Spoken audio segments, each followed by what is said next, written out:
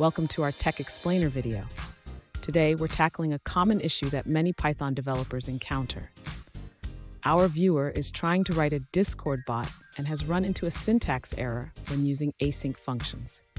Let's dive into the details of their code and figure out what's going wrong.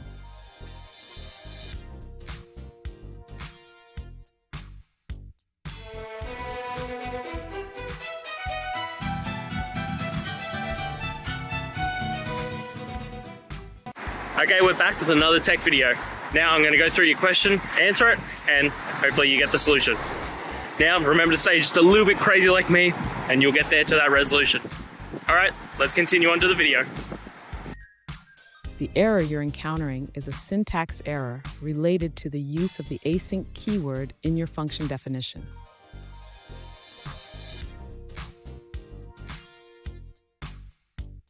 This error typically arises when you're using a version of Python that does not support async and await keywords.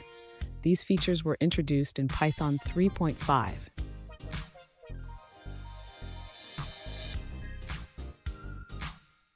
To resolve this issue, first verify your Python version. If it's below 3.5, you'll need to upgrade to a newer version.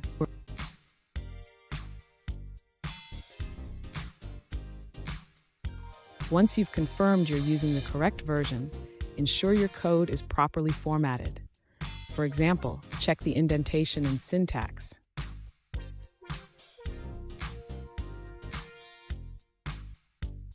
Finally, after making these adjustments, try running your bot again. It should work without the syntax error.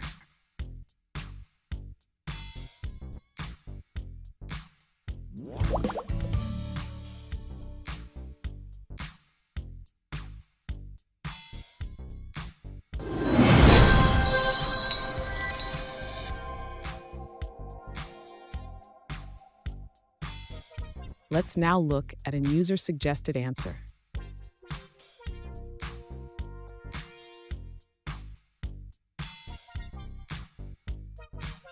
To fix the invalid syntax error with async def in Python, the user installed the updated version of PyMC from GitHub, which resolved the bug in Python 3.7.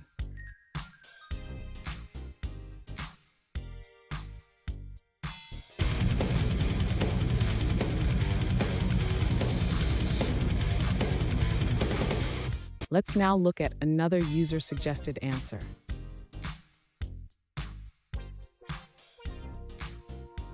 If you're using a Mac and facing an invalid syntax error with async def, try running your script with Python 3 instead of Python.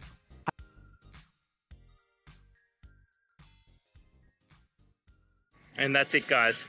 I hope this video has helped you get through to that resolution you're looking for. And if it did, please hit subscribe. I'd really appreciate it. Now, until next time, I hope you have a good day and see you then. Cheers.